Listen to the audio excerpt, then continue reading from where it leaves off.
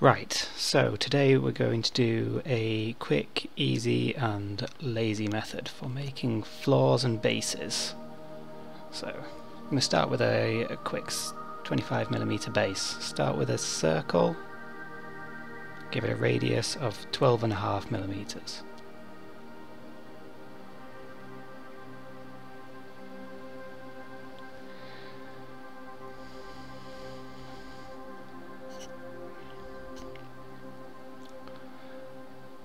then that gives it the required diameter of 25.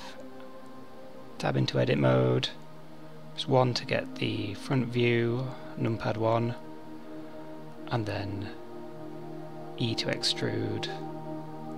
Just right click and then press G to grab and Z and move it up 4 millimeters. I'm going to scale that top circle down by about 2 millimeters, just approximately. Then F to fill, and we will poke that face. Now what I'm going to do is just insert a couple of times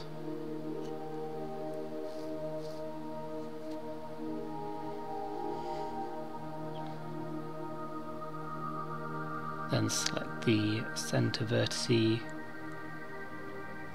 press Ctrl and B, bring up the bevel menu and just, change the setting in the bottom left to vertices, which means you can make a nice little circle in the middle. Size doesn't matter that much, it's just easy with a nice small one. Then select it and delete that face. Alt and left mouse gives you an edge selection and then we can just grid fill that little hole. Control and R to ring select and then the center mouse wheel give you extra loops.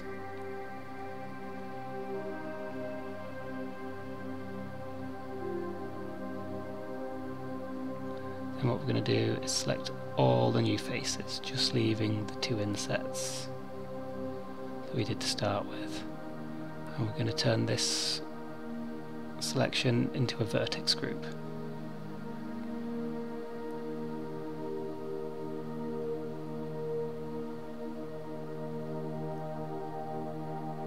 So, side vertex, you can name it if you wish, and then click assign.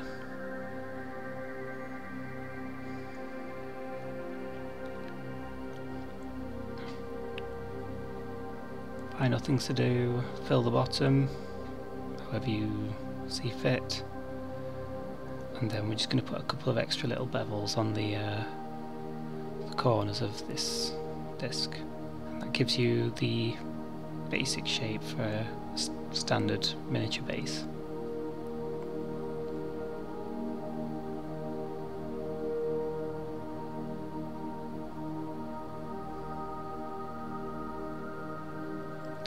So the, um, the basis of this lazy method is just to use the displacement modifier really. You need a lot of geometry to start with to get that to work. So next up is extras with the subdivisions. I'm going to start with 4 and then the displacement modifier. One of my favourites is to use clouds and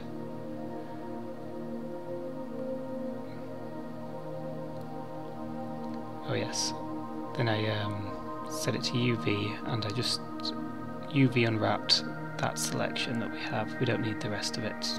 It doesn't matter so much for this project.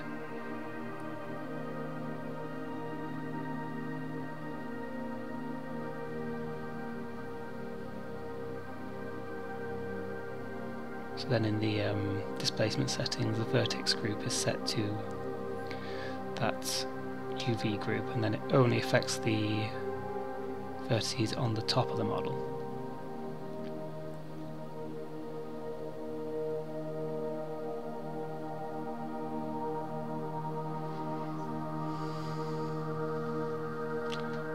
This also gives you much more options and versatility for what you might want to do with it. Um, one of my favourite settings to use is the clouds type with the Voronoi crackle and the noise basis.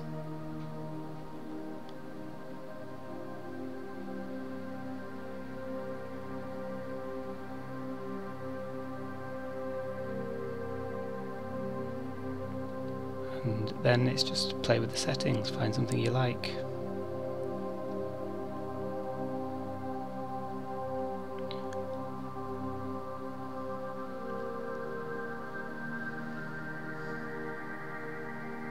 As you can see here I set the size quite high, put the depth down, just reduce some of the detail, nice big cracks. And then shift and D to duplicate it if you set the space and the coordinates to global, um, duplicated ones will all be different.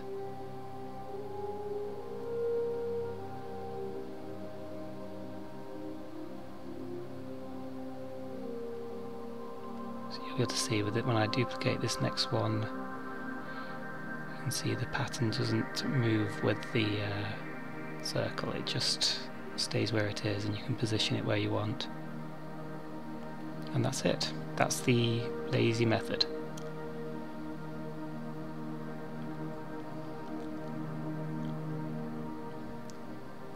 I'm going to do one more thing just to uh, reduce the file size down after this and that's apply the modifiers and then decimate them. I decimate modifier as much as I feel um, doesn't reduce the quality of the overall design.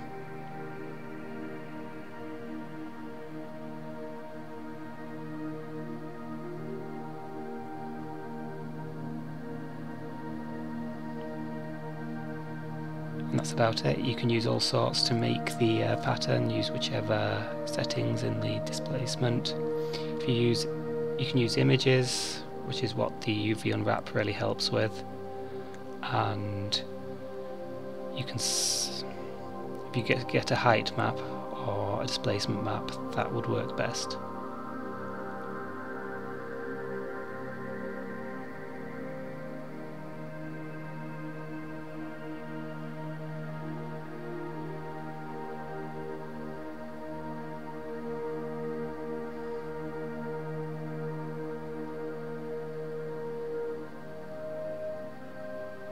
yeah, overall, that's it.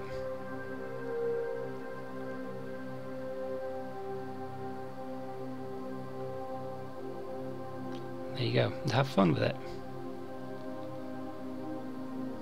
Here's a selection of uh, different ones I've made. Several are made using settings from clouds or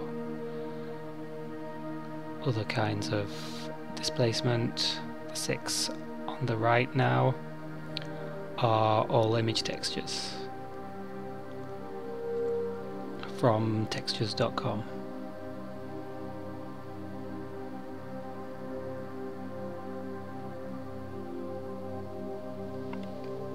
And these are all available to download on Thingiverse at the moment.